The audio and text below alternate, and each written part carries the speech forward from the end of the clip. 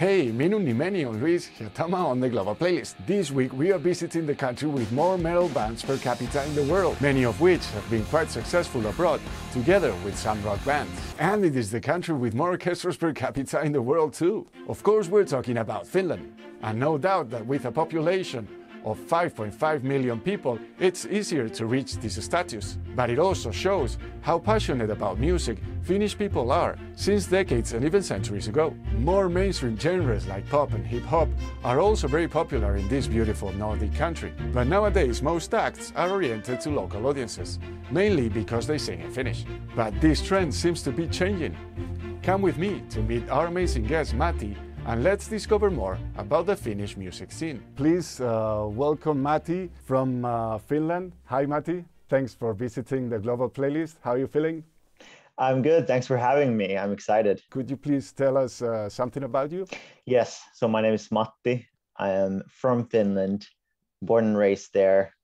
Um, when I was 19, I moved to the US. I went to college there. And then from there, I moved to Sweden, to Stockholm for a bit. And then I moved to LA, and now I'm finally back in Finland. I'm relocated here in Helsinki uh, after like five years abroad. And yeah, Sounds I'm nice. a music geek. I love yep. music and I work in the industry um, as well. And um, yeah, I love all things music and pop culture. Great, great introduction. Thanks a lot, Matti. Please, could you tell us uh, how did you uh, started uh, listening to music?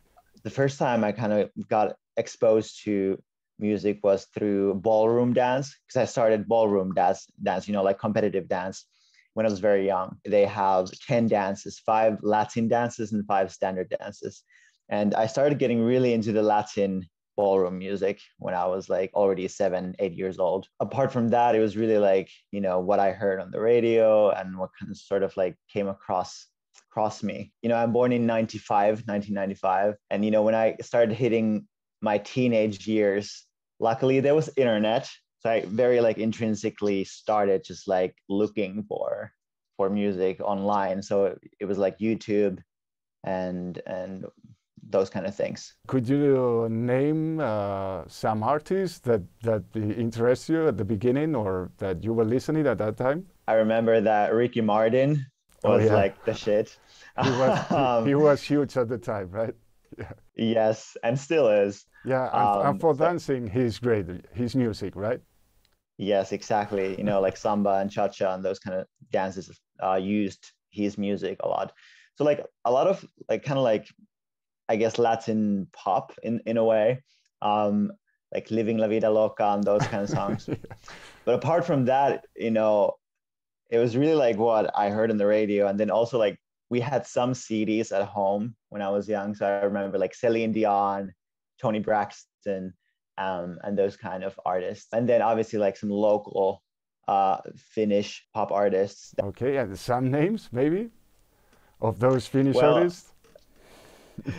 Uh, Finnish people are gonna laugh at this when they hear this, but um, there's, for example, there's someone called Paula Koivuniemi, who is still to this day like a legendary Finnish pop artist. And then there was a girl group called Gimmel, who was very popular.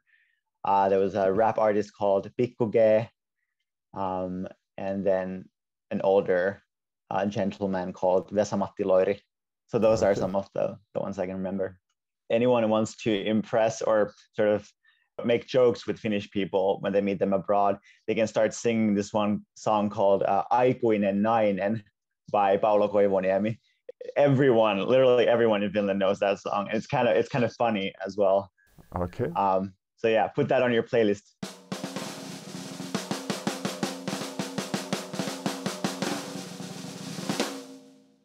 Traditionally, uh, which would you say are the uh, most popular music genres in uh, in Finland? For sure, I think what Finland is also known uh, abroad for is heavy music, like heavy metal, yeah, absolutely. rock music.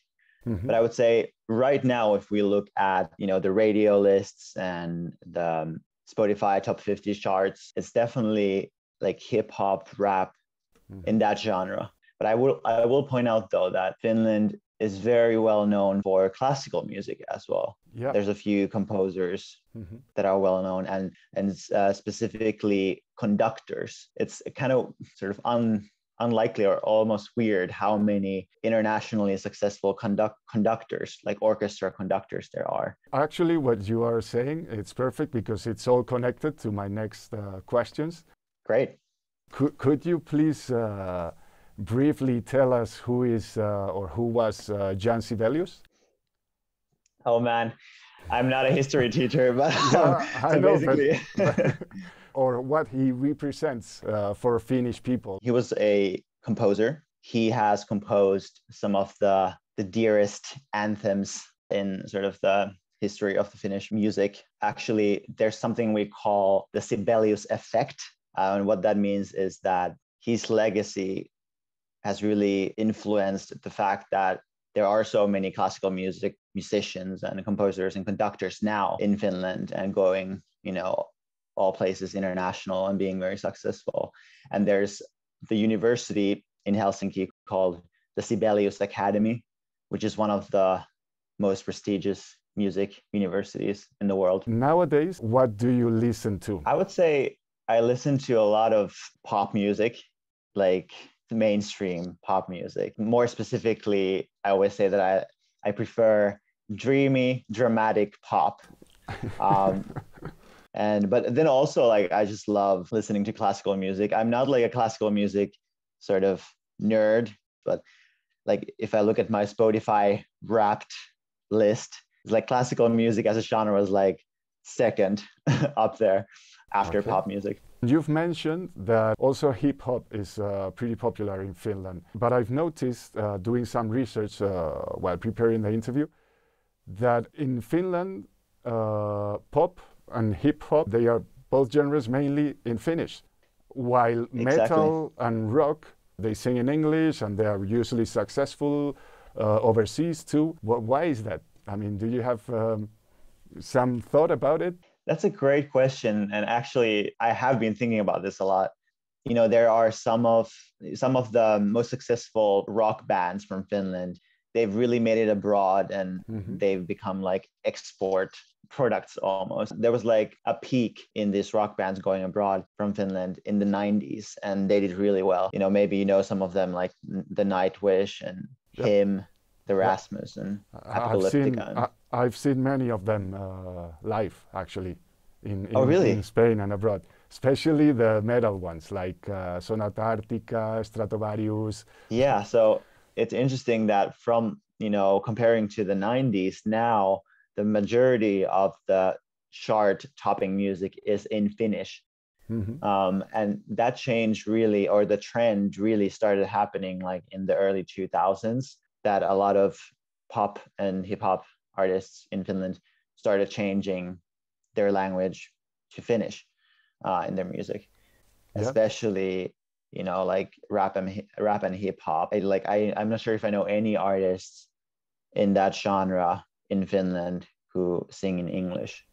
Right now, are there any um, uh, ones to watch that you would like to highlight? Uh, Finnish artists, uh, maybe that are that are really uh, breaking through. For example, when it comes to pop artists, um, there's someone called Alma. She sings pop, but has like a very cool, raspy, edgy voice. cool. She's done a song with French Montana and those things. Apart from her, there's someone called uh, Isaac Elliot. Well, someone who I'm working with right now Oh, um, yeah. is a very new band that is gaining a lot of hype. They're called Blind Channel. Blind Channel. Oh, They're, man, uh, like- I, I've uh, during my research, uh, I've listened to them. They do this uh, what they call violent pop, right? Violent Pop, yes. So I, I'm working with them right now uh, on Eurovision Song Contest, and Okay. you know they're they they have been together for what almost ten years or something. Okay. Um, but now they're really breaking through internationally, and it's awesome to follow and be part of the journey. Regarding uh, live music, it's uh, Finland or Helsinki a good place to see live shows? In the summer there are so many music festivals all around finland. And i mean there's so much to choose from. And a lot of times the headliners are big international Yeah. names. Okay. uh, but then you have your smaller finnish acts as well. So yes music festival wise Hel- uh, finland and helsinki have a really good scene. To mention some festivals for example flow festival. It's kind of a new festival. It's, it's kind of like hip millennials love it um, a lot of pop music. And then, for example, Ruisrock is a bit more on the rock side, a very big outdoor festival as well. Uh, we're going to continue talking a little bit about the stereotypes. Is Finland uh, such a quiet country as everybody says? I mean, that's the stereotype, yes. Yep.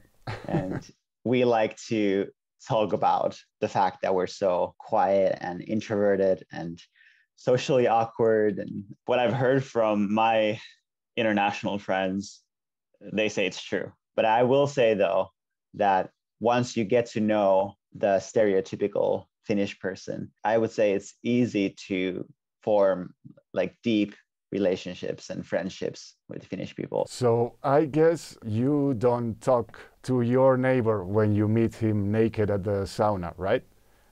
Or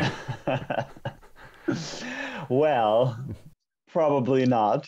But also, I mean, the saunas, because they're everywhere in Finland. Like, Yeah. this is fact. There's three, uh, 3.8 million saunas. in Finland, really? you know, yeah. So there's like five million people, but 3.8 million saunas. That's So there's a crazy. sauna in like every house. So to be fair with you, like, you know, the sauna is a pretty good place to connect with people and talk with people. So Oh yeah. I would Okay. say the sauna is the one place where we're actually social. but Okay. obviously these are stereotypes and you know Yeah, there are yeah, yeah, many exceptions. of course, of course, I guess. Okay, thanks. Thanks for answering these two. The time has come uh, for Matti to reveal the title of the song he has picked uh, to represent Finland in the global playlist. Okay, then uh, please, uh, Matti, go ahead. yes. So the song that I chose is by a band called Hello Helsinki. Uh, and the song is called Hulluuden Highway. Se syy, miksi valitsin tämän biisin, on se, että mm, no ensinnäkin tämä on ollut tosi suosittu kappale Suomessa ö, neljä vuotta sitten julkaistu, ja siinä on tosi hienot sanat, siinä on sellainen tosi runollinen eka säkeistö, ja kersi on tosi sellainen niin melodinen, ja siinä on sellaisia rokkielementtejä.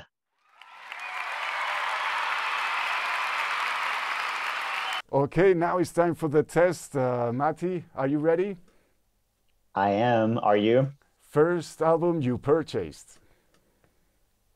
Oh no, this is very well. I wouldn't say embarrassing, but this is um, interesting. um, the Pussycat Dolls album called PCD. Favorite album of all time? Oh, this album may not be the one that I've listened to the most, but this is an album that I like value very high. Um, it's Lemonade by Beyonce. I feel Mhm. like that album is a peak in pop culture history, which will not be repeated anytime soon. So yeah, Lemonade by Beyonce. Top three artists of all time? This might change, obviously, but well, Beyonce, uh, Troye Sivan. The third one would be Duncan Laurence. Favorite song? The Good Side by Troye Sivan. Favorite concert ever? I would still say, hands down, it was Beyonce's Formation World Tour concert in the US. I think it was the first concert of that entire tour. Uh, it was right after the Super Bowl performance that she did. And it was like 90,000 people on an arena in Tampa, Florida. You know, 90,000 people worshiping God. I mean, I was one of them. Favorite venue anywhere in the world?